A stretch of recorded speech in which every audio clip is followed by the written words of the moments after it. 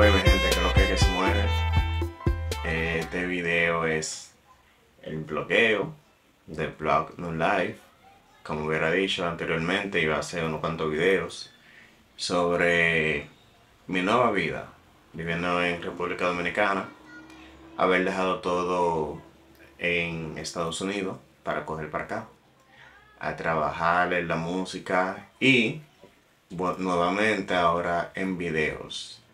Pues bien, yo hablaré de cómo es la vida aquí en República Dominicana, cómo es el proceso, cómo fue el cambio, qué extraño de mi país allá en Estados Unidos, qué no extraño, qué me gustaría y qué no. Igualmente al final del video haré preguntas para la persona que ven el video y quieran hacer preguntas sobre cómo es la estadía en este país y cómo hace el proceso de cambiando para venir a un nuevo país. Y el proceso de trabajar acá, en cuestión de música. ¿Quién yo soy? Mi nombre. Bueno, yo soy José Martínez. ¿A qué me dedico? Yo en Estados Unidos me dedicaba era trabajar con personas con problemas mentales y también era CNA. Técnicamente dejé esos trabajos allá en mi país, en Estados Unidos, por el hecho de que quisiera trabajar en música acá en República Dominicana. ¿Por qué elegí venir a República Dominicana para trabajar en la música? Bueno, bien sencillo.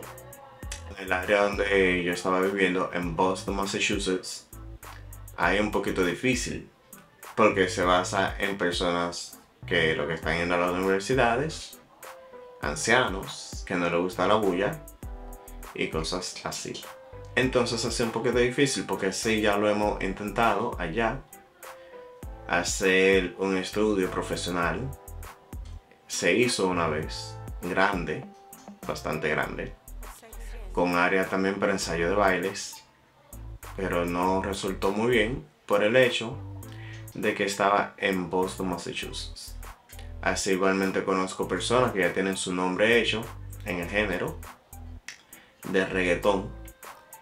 Y igualmente hicieron un estudio, pero no resultó muy bien por el hecho de que estaba en Boston, Massachusetts. Muchas personas se preguntarían, ok, ¿por qué no seguirlo en Estados Unidos? Como en el área de Miami, algo así. Bueno, Miami está bastante saturado con estudios de ya personas con nombre igualmente. Personas que ya han ganado Grammys, personas que ya tienen toda su vida en eso de la música.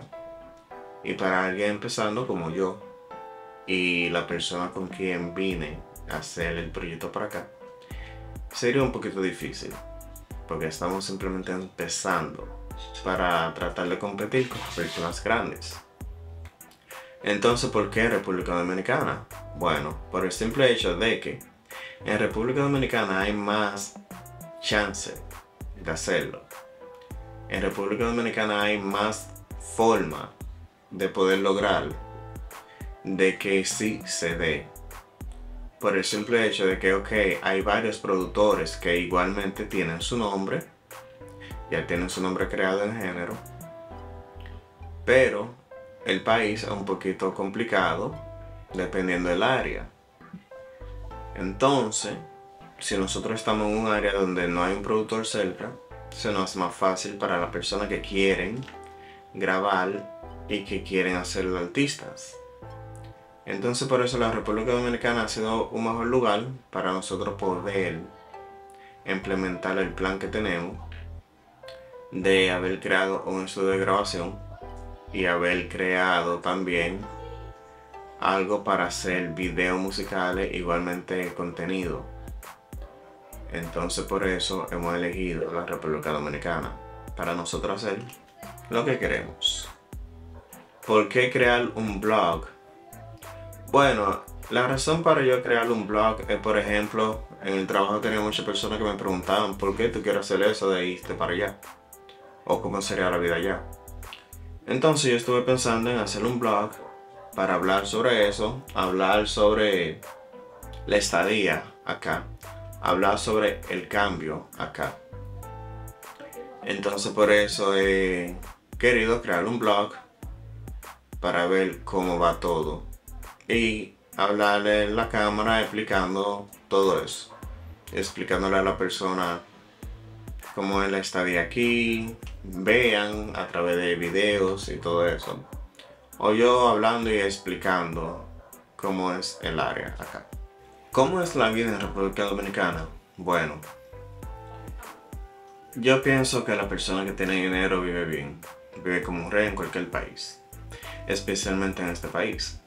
Si la persona tiene dinero, tiene dinero para gastar, tiene dinero para disfrutar, tiene dinero para salir con las amistades, se le hace bien fácil. Súper bien, bien cómodo.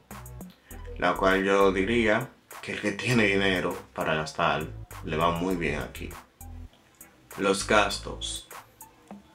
Bueno, los gastos yo diría que son bastante.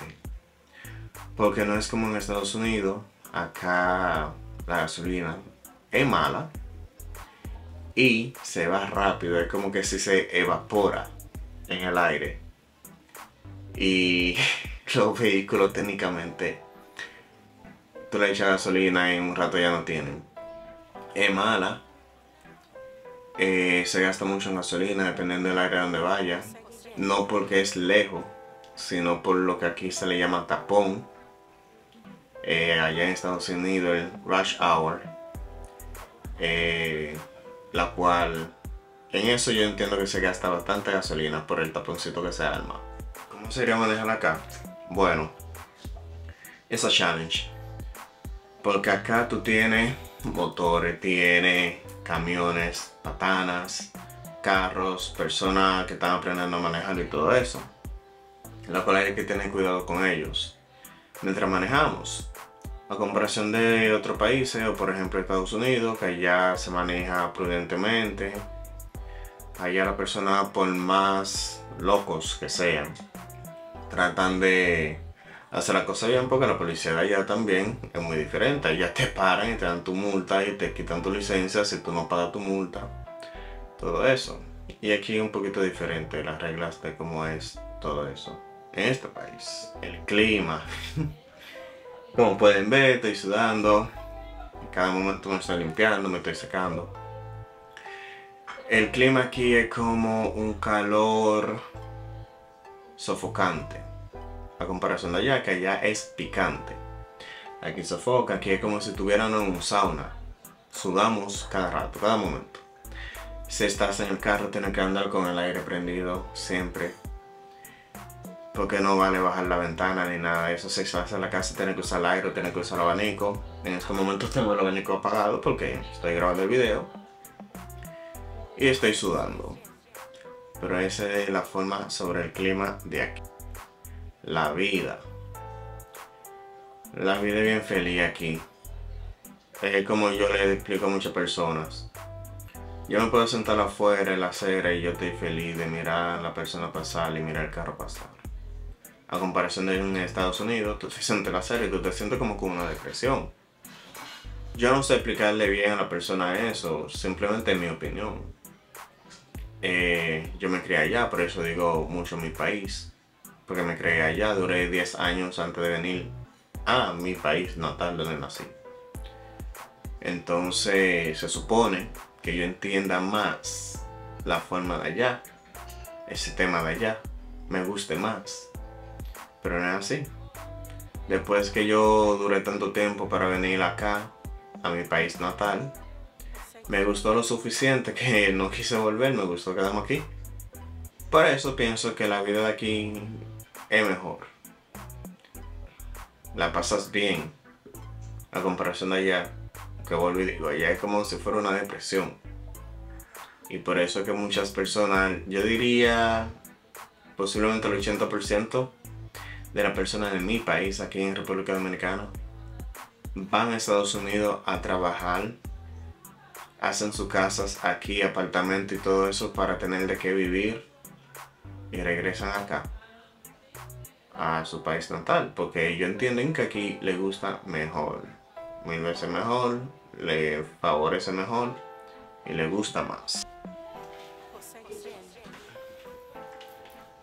Bueno, hasta aquí va a ser el bloqueo de hoy. Hasta aquí va a ser el video. Yo posteo a veces fotos en mis redes sociales. Por ejemplo, mi Instagram. Yo a veces pongo cosas. Ahora estoy usando un TikTok también porque eso es lo que está de moda.